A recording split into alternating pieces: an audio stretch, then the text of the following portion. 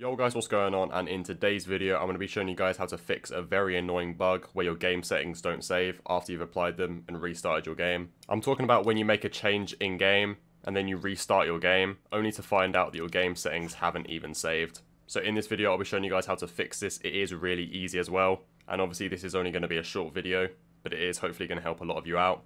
So in return, if you guys could just drop a quick like on the video and maybe even consider subscribing if you do find my content helpful. I do videos like this all the time. But with all that being said, let's get straight into the video. So the first thing you're going to want to go ahead and do is just go into Fortnite and make sure you've put all of your settings where you want them. Once you've done this, just close your game.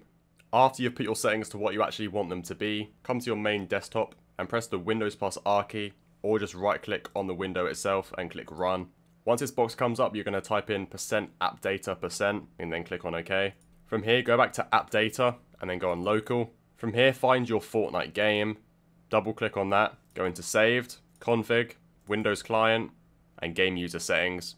From here, you're going to right click, go into properties, and make sure that the read only is unticked.